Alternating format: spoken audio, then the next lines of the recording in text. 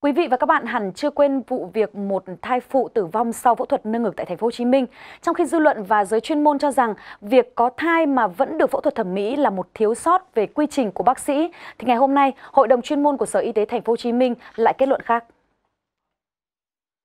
Theo bà Nguyễn Thị Huỳnh Mai, tránh văn phòng Sở Y tế thành phố Hồ Chí Minh, hội đồng chuyên môn kết luận nguyên nhân tử vong là do đợt bùng phát cấp tính của bệnh lupus ban đỏ hệ thống, tiềm ẩn trên bệnh nhân có thai 17 tuần không đáp ứng điều trị. Yếu tố góp phần thúc đẩy tình trạng bệnh nguy kịch là bệnh nhân có thai, có phẫu thuật và sử dụng kháng sinh.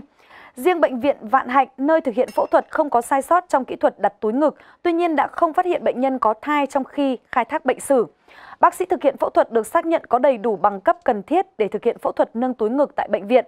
Sở Y tế thành phố Hồ Chí Minh đã yêu cầu các bệnh viện rút kinh nghiệm sau vụ việc đặc biệt là trong quá trình tư vấn thăm khám trước phẫu thuật thẩm mỹ.